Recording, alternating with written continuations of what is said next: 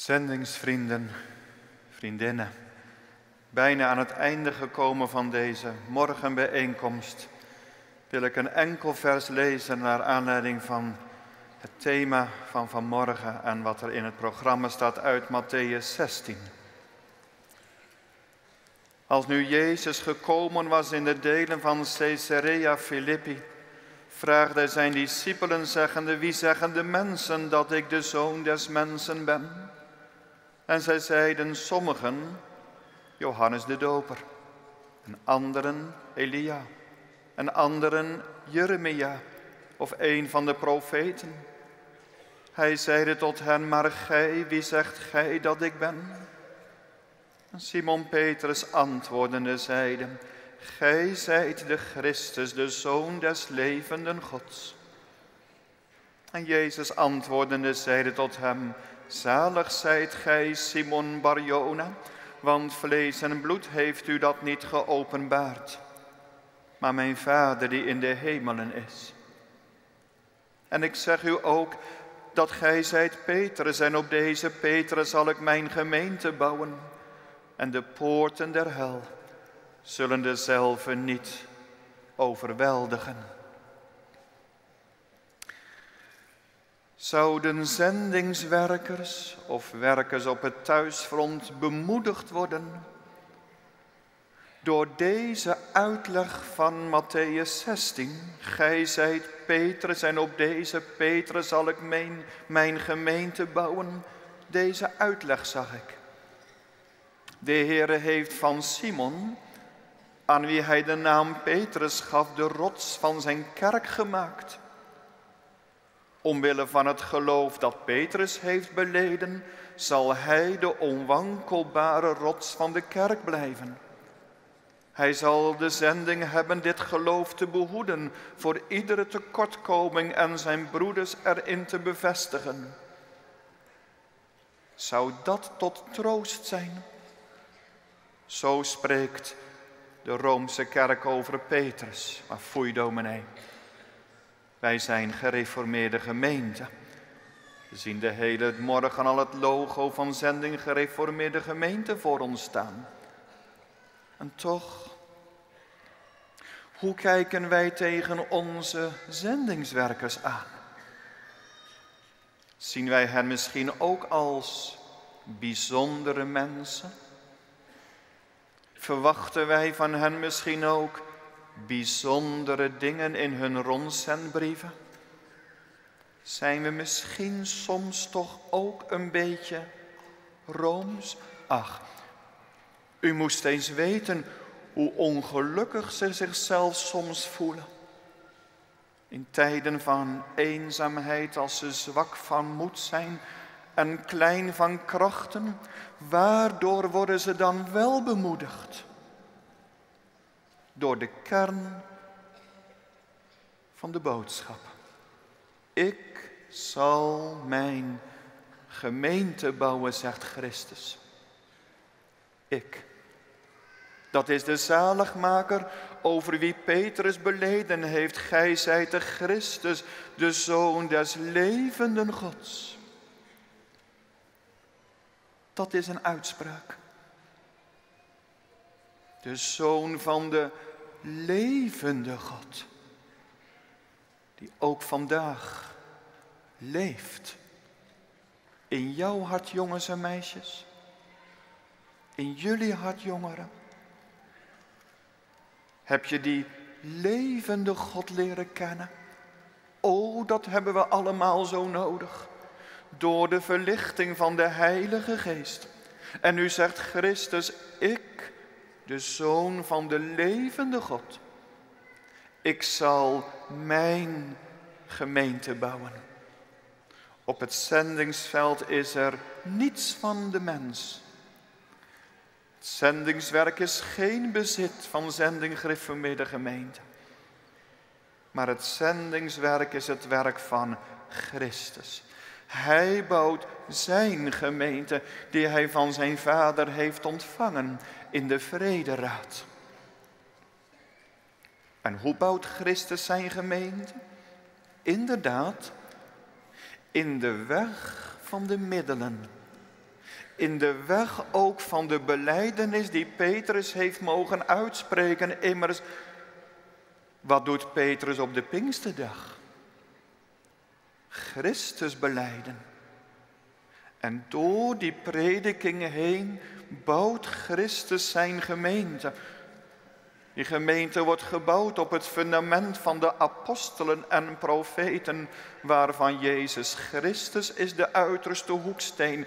Zo door de middelen heen, door een toespraak van een zendingswerker of soms door een enkele zin die een zendingswerker onverwacht mag uitspreken, of u misschien tot uw buurman.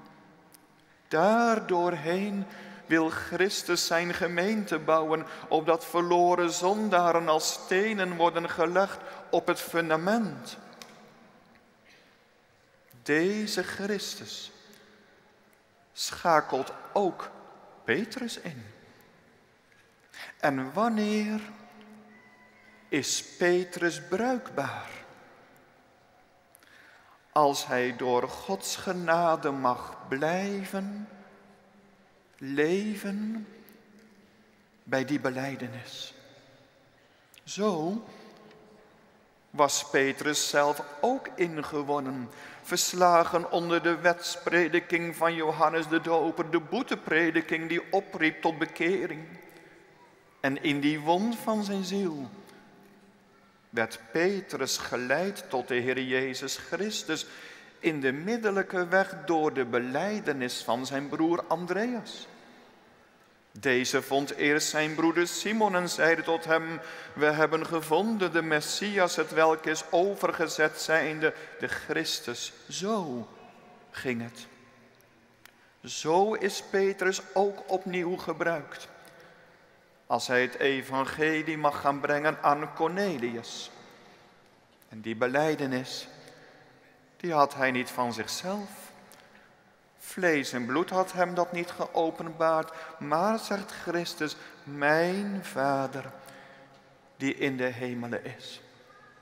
En zo ziet u, het beleiden van de kerk mag voortgaan als het beleiden van de drie enige verbondsgod. En wat gebeurde er als Petrus af ging wijken van die beleidenis. Wat gebeurt er als een zendingswerker of wij allemaal, als de Heer ons een plaats geeft in zijn koninkrijk, gaat afwijken van die beleidenis? Dan wordt hij nutteloos. En dat gebeurde al heel snel. Want als de Heer Jezus gaat spreken over zijn borglijden, dan is het Petrus die zegt, wees u genadig, dat zal u geen zins geschieden. Op deze Petra zal ik mijn gemeente bouwen.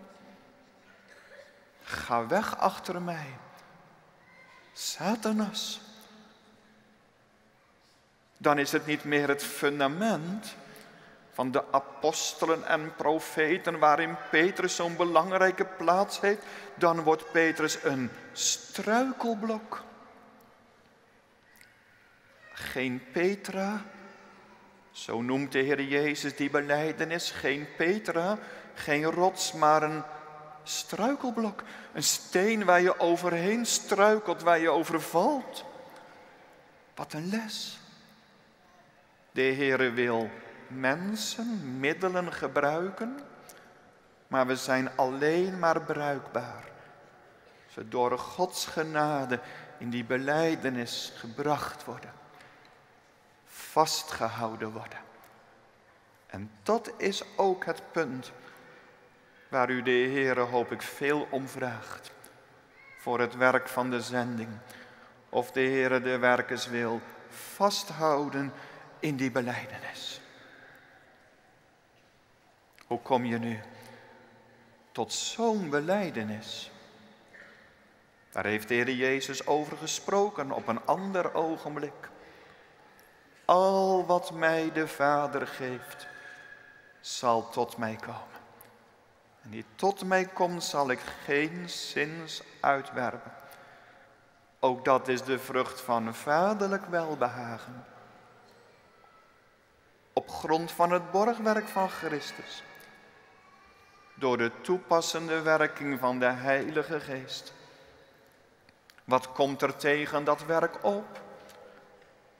De Heer Jezus zegt, de poorten der hel zullen dezelfde niet overweldigen. Wat gebeurde er? Toen nog niet eens de poorten van de hel opengingen, maar toen die poort een klein kiertje openging in de zaal van Caiaphas.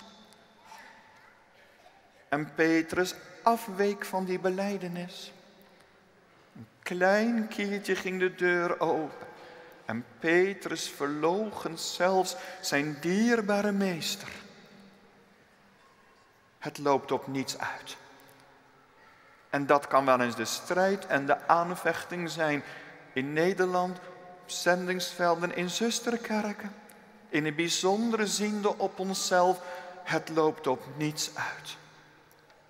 Simon, Simon, de Satan heeft jullie den zeer begeten ziften als de tarwe, maar ik, de Zoon van de levende God, ik heb voor u gebeden dat uw geloof niet ophouden. Satan wilde Christus overweldigen, toen gingen de poorten van de hel inderdaad open. Maar Christus heeft Satan de kop vermozzeld toen hij uitgeroepen heeft op Golgotha, het is volbracht. Hij is opgestaan uit de dood en het welbehagen des vaders gaat door zijn hand gelukkiglijk voort. Zo bouwt Christus zijn gemeente. Als een huis. En het huis is ook een keer af.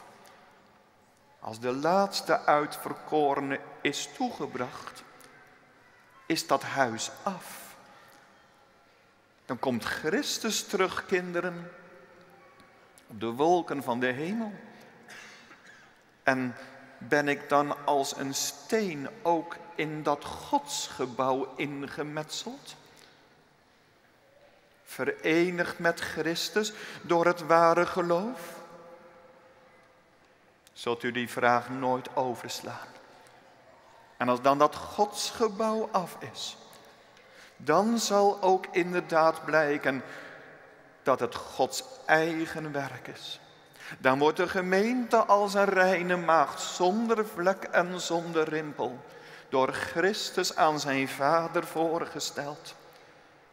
Dan zal de Zoon van de levende God zijn Vader de bruid geven, gekocht door zijn dierbaar zoenbloed, toegebracht door de Heilige Geest en het eeuwige loflied zal klinken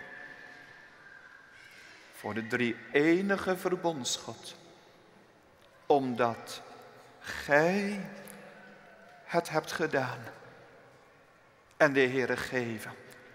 Dat dat eeuwige loflied, wat uit alle tongen, talen, geslachten en natieën zal gezongen worden.